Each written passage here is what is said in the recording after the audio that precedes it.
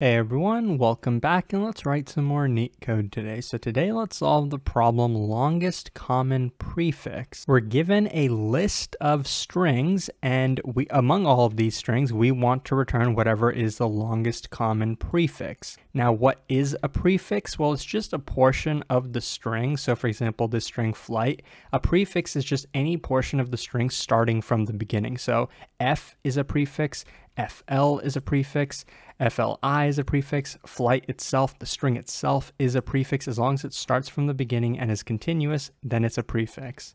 And we want to return the longest common prefix among all of these strings. So, you know, what's the intuitive way to tackle this problem? Well, look at the beginning, right? All three of these strings start with an F, right? So F is a common prefix among all of these strings. Let's look at the next character, L.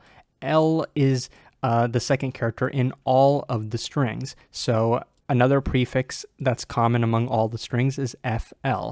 Now let's look at the third character. O is the, is the third character in this string. O is the third character in this string.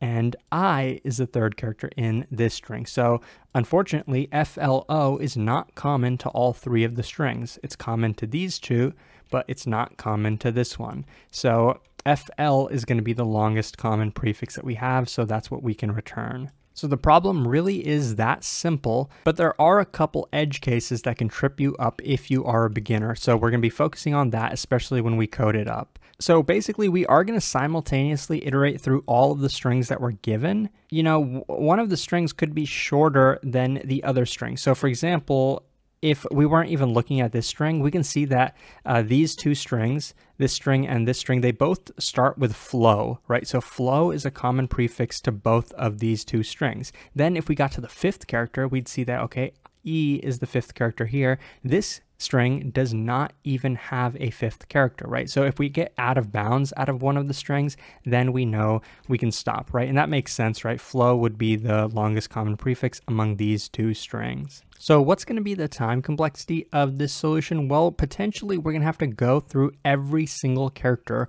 of every single string. That would basically be the case if, you know, we had, let's say we had flower and we had it multiple times, right? Then we'd have to potentially iterate through each of those flower uh, strings, right? Because they're common, so we wouldn't stop. And then we have to go through every single character. So the overall time complexity, let's say, is going to be n, where n is the total number of characters that were given. Or if you want to say that n is the average size of the string, uh, and we have m different strings, then you could say this is the time complexity, right? However you want to formulate it.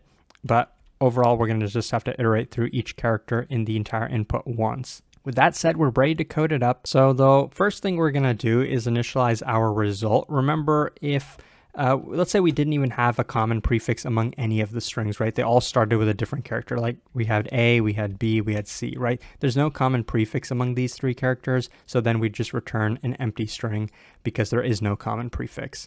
So we initialize our result. Then we want to simultaneously iterate through all of the strings, right? So we're going to use a pointer i to indicate what index that we're at in the strings and we're gonna go through let's say the through every single character of let's say the first string right? I'm just putting the first string here uh, strings at index zero. This is just the first string. I'm using that arbitrarily right? Because it could be possible that this string is not the shortest string in the input right? In which case we'd want to stop this for loop earlier than it's actually shown right now. So we'll, we'll have to remember to handle that case. I'll handle it uh, slightly differently uh, than using a conditional out here. So, okay, so we're iterating through every index.